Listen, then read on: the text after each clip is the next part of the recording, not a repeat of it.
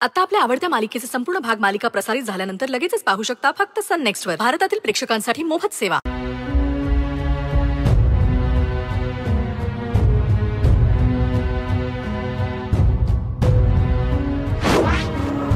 ओळखलं का कोणाचं आहे ते?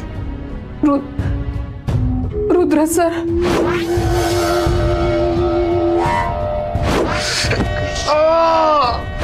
रुद्र सर!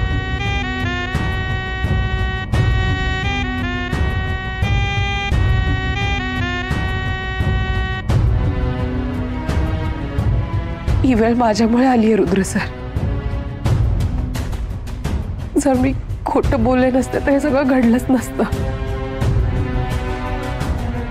मला माफ़ करा, रुद्र सर. माझ्या खोट्याच्या जाळ्यात खरं तर मीच पुरती फसली मी मी काय करू, मला खरंच कळत नाहीये.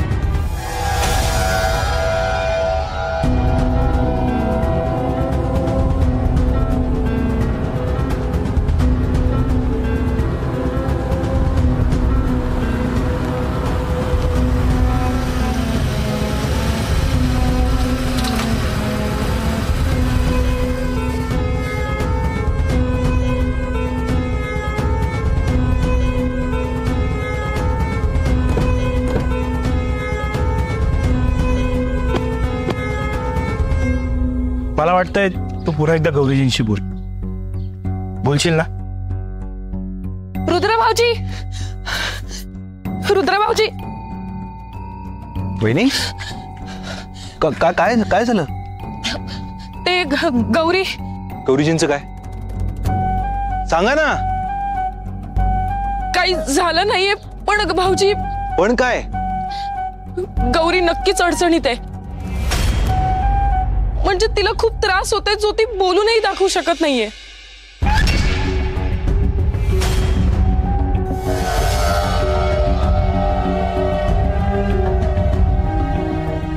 रुद्र! भाऊजी! रुद्र! रुद्र थांब! रुद्र थांब! थांब! आपल्याला गौरीजींना मदत करायची आहे. त्यांच्या अडचणी वाढवायच्या नाहीयेत. तुझ्या अशा वागण्यामुळे काही चुकीचं घडायला नको. चुकीचं घडतंय. तो माणूस चुकीचा वागतोय. चल, हो माहितीये मला. हे बघ माझ्याकडे एक उपाय आहे.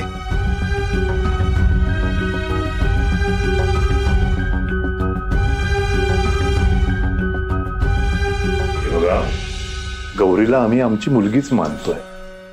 म्हणूनच तिची जास्त काळजी वाटते. म्हणजे तिचं काही चांगलं होत असेल तर आम्हाला त्यात आनंदच आहे. हम्म. पण तिला त्रास नको व्हायला एवढीच आमची इच्छा आहे. अहो बघितलं ना? आपली गौरी किती भाग्यवान आहे ते. हो हो खरंच. असे आई वडील मिळाले तिला. हम्म आणि म्हणूनच हक्काने विचारतोय. तिला काही त्रास नाहीये ना? हम्म? मी जे काही ऐकलंय त्यावरून त्यांच्यात काहीच आलबेल नव्हतं. मग असा अचानक कसा आला तिचा नवरा? तो नक्की नीट वागतोय ना त्यांच्याशी? नाहीतर हे बघा इथे आमच्याकडे त्या दुखी खूप सुखात आहेत.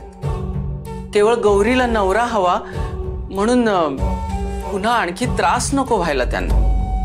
छे छे. अहो आम्ही पण आधी तीच खात्री करून घेतली. तुम्हाला खरं सांगतो आमचा कल्पेश आहे ना तो आता फार म्हणजे फारच बदललाय. मी स्वतः बोललो त्याच्याशी. त्याचा फार जीव आहे हा दोघींवर. आता ती वेळच वाईट होती म्हणायची ना म्हणून असा वागला तो. आता तर या दोघींशिवाय त्याला चैनच पडत नाहीये. हो की नाही हो?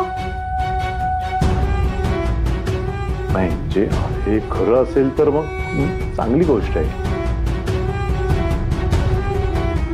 तुम्ही नक्की खरं बोलताय ना?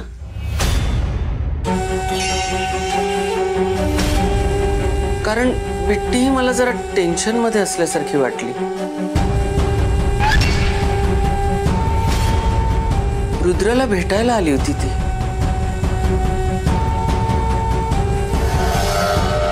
मला काही कारण नाही सांगितलं तिनं. पण नक्की मनात काहीतरी चाललं होतं तिच्या. तरी नको म्हणालो होतो ना. म्हणजे? का- का- काय नको? काही नाही अहो ह्यांनी ना मला बिट्टीवर लक्ष ठेवायला सांगितलं होतं. पण मी मेली घरकामाच्या नादात गेले विसरून. अहो आणि बाप सोडून गेला ना तेव्हा खूप लहान होती बिट्टी. आता अचानक आला तर बावरलीये बिचारी. अस्वस्थ झालीये. आहे म्हणून असेल कदाचित. आणि रुद्र सरांशी फार चांगलं जमतं ना तिचं. हो. त्या दोघांचा फार जीव आहे एकमेकावर. रुद्राला अजिबात सहन होत नाही बिट्टीला त्रास झालेला.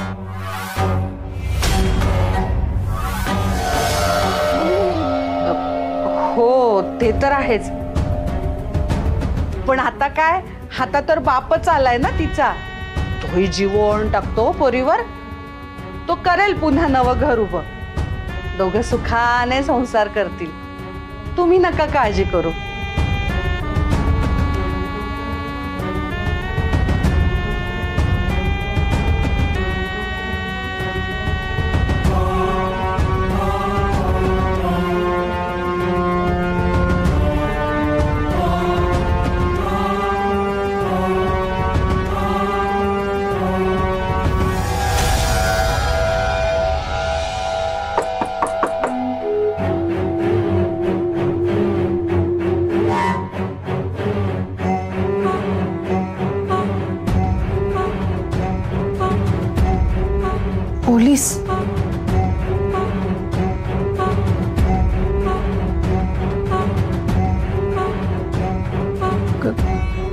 झालं रुद्र सर? मला सगळं कळलंय गौरीजी.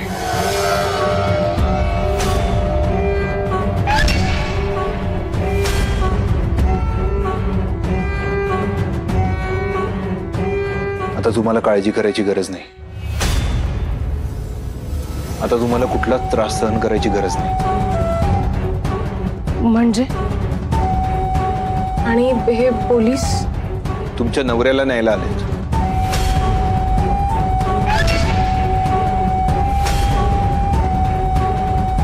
डोमेस्टिक व्हायलन्स अंडर त्याला अटक करणार आहेत व्हायलेन्स गौरी अगं अहो मी मी काहीच नाही केलंय मी. माझं माझं खूप प्रेम आहे माझ्या बायकोवर. गौरी, असं का वाटलं ग तुला? एका शब्दाने तरी सांगायचंच ना मला. इतका वाईट आहे का ग मी? मला सांगितलंय नाहीस आणि थेट पोलीस बोलवलेस. मी ते नाही नाही कसं सांगणार ना तू? मला वाटलं नव्हतं ग तू असं काहीतरी करशील. अगं अगं आपल्याला एक मुलगी आहे तिचा तरी विचार करायचाच ना.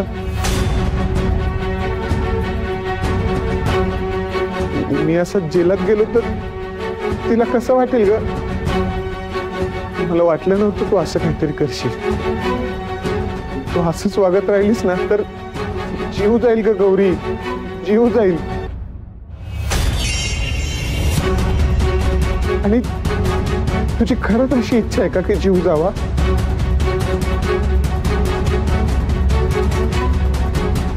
सांग ना.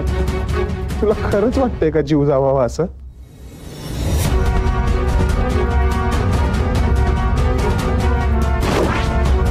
ओळखलं का कोणाचं आहे ते? रु- रुद्र सर.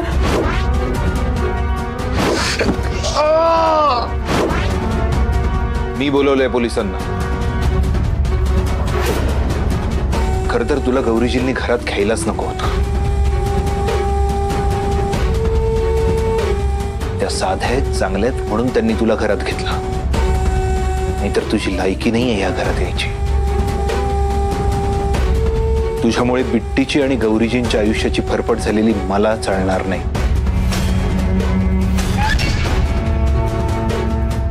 गौरी, अगं काय बोलताय ते माझ्याबद्दल? अगं सांग ना यांना, असं काही नाही ते. सांग ना सांग ना त्यांना हे सगळं खोटं आहे. आपण आपण किती सुखात आहोत सांग ना यांना. अगं आत्ताच आपल्या सुखी आयुष्याचे स्वप्न रंगवत होतो ना आपण. आत्ताच आत्ताच आपल्या हॅपी फॅमिलीचं चित्र रंगवत होतो ना आपण. आणि आता हे काय गौरी?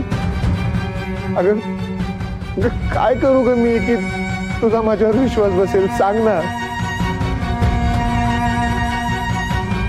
असं नको वागूस का माझ्याशी.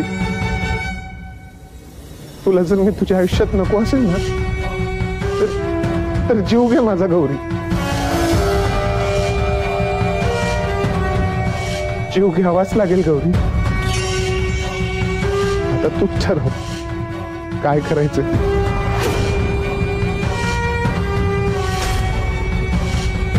बस झालं. साहेब तुम्ही घेऊन जायला थांबा.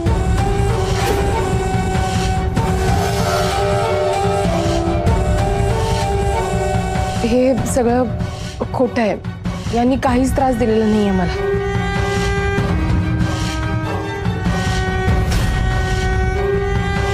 गौरीजी आम्ही सगळे आहोत तुमच्या पाठीशी. तुम्ही का सहन करताय हे सगळं? काही गरज नाही अशा माणसाला वाचवायची. तुम्ही का सहन करता हे सगळं? साहेब तुम्ही तुमचं काम करा. घेऊन जा या माणसाला. नाही.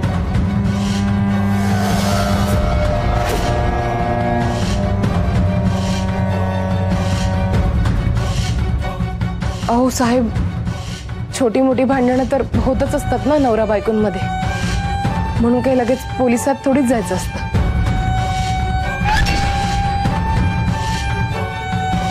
माझी काहीच तक्रार नाही आहे यांच्याबद्दल. गौरीजी?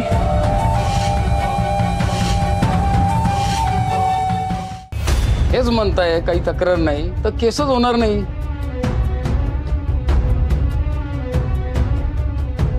माझं ऐका तुम्ही. माफ़ करा मिस्टर पैठणकर. जर यांनाच काही अडचण नसेल तर आम्ही काय करणार? येतो आम्ही.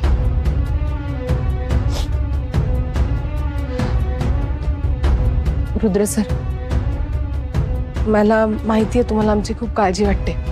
पण तुम्ही नका आमची काळजी करू. आता आमच्यात पुन्हा वाद नाही होणार.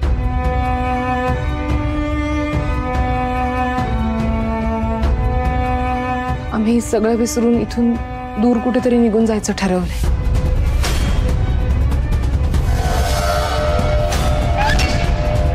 नव्याने सुरुवात करू.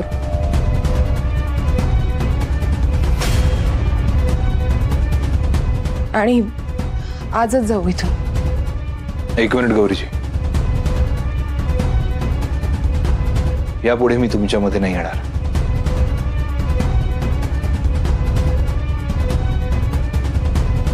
आणि तुम्ही इथून कुठेही जाणार नाही आहात.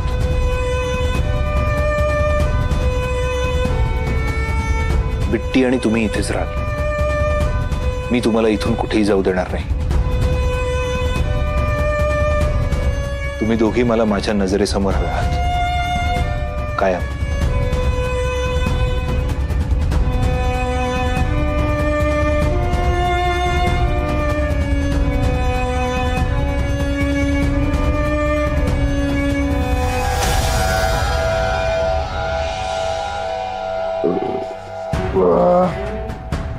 लय दिवसानं असं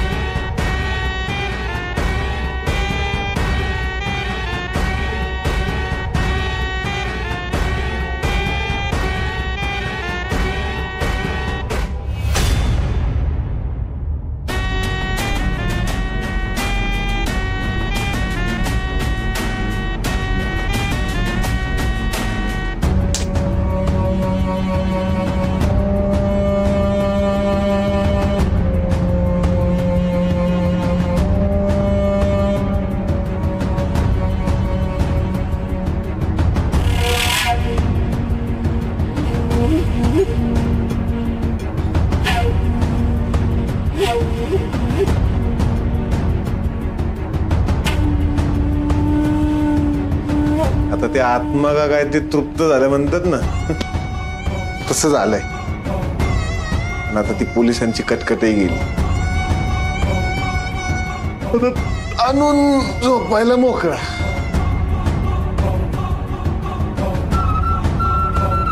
हो बाई.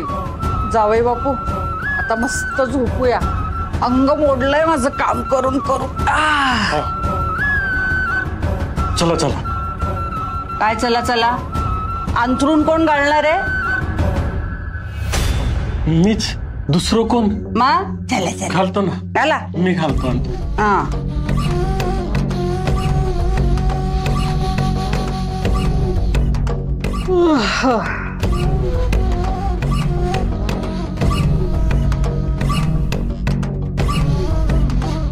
आई कल्लू पण येते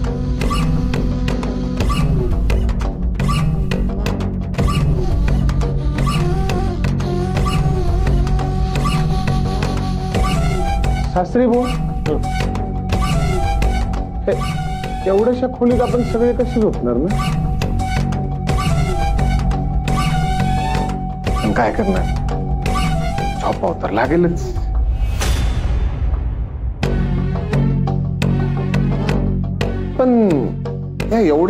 जागा कशी होईल? म्हणजे बाहेर झोपावं लागेल.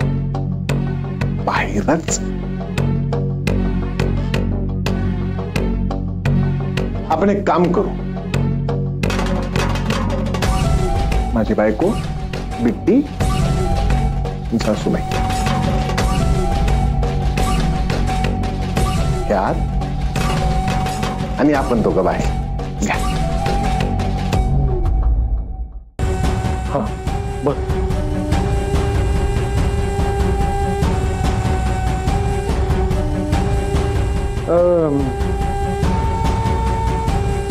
सासरी बुवा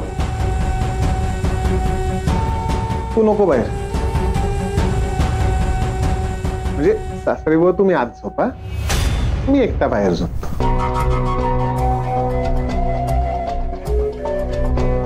बर मी आज झोपतो काय सासरी बुवा जावायला एकट्याला बाहेर झोपायला पाठवतात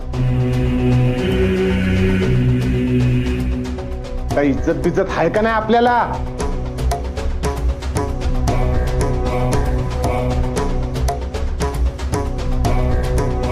आता आपण एक काम करू आता ना सगळेच बाहेर झोपू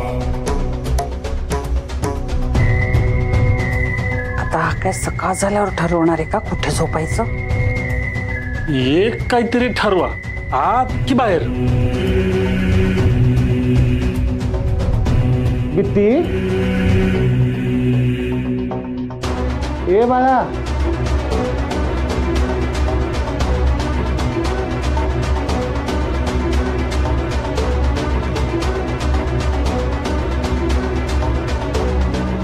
होती बाळा ते असं काय खेळता तुम्ही? आकड काय?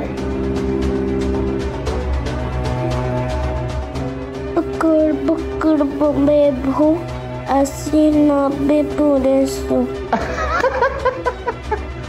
आकड बक्कड मामा मामी बारसो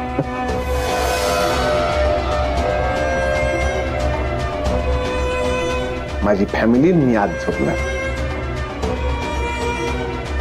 मी माझी बायडी आणि बिट्टी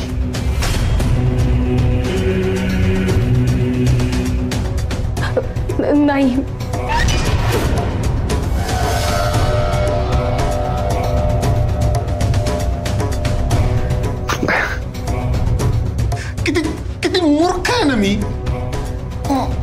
आधीच लक्षात यायला पाहिजे होतं ग.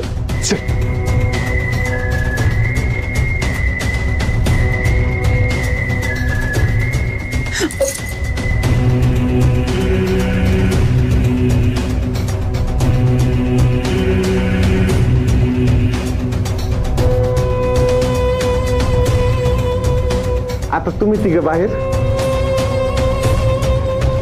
मी माझी बायडी नाही।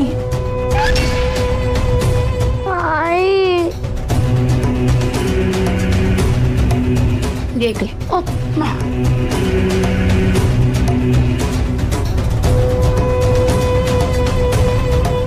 खबरदार असा विचार केलास तरी। मामा आणि तू बाहेर झोपायचंस। ए। मला बाहेर झोपायला सांगतेस? मला? बाहेर झोपायचं नसेल तर चंदू काकाच्या खोलीत झोपा पण